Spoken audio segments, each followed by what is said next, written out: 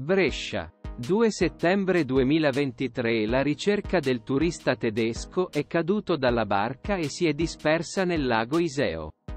Nella tarda sera di ieri sera. Mentre i subacquei dei vigili del fuoco cercano il ventenne sono finiti in acqua. Le dinamiche sono sempre più chiariti.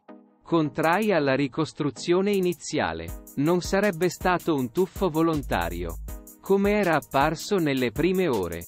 Ma di un tragico incidente.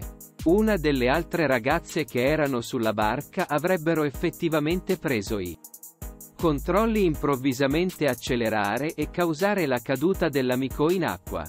I carabinieri denunciarono la giovane donna 23 anni, anch'essa di nazionalità tedesca che ha effettuato la manovra. Il procuratore in servizio Giovanni Tedeschi sta valutando le ipotesi del crimine. La ricostruzione la ragazza era con alcuni coetanei tedeschi sulla barca e tutti Secondo quanto riportato, avevano bevuto, ad eccezione del figlio del proprietario a cui era stato affidato la barca. Il ventenne è finito in acqua sembra si sono posizionati a prua.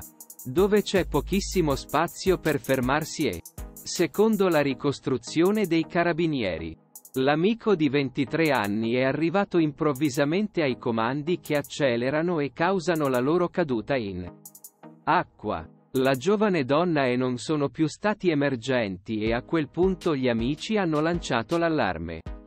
L'episodio si è svolto nelle acque di Pisogne, dove ieri sono in corso la ricerca dei subacquei e dei vigili del fuoco, valutando anche l'ipotesi della ricerca strumentale con l'uso di un ROV.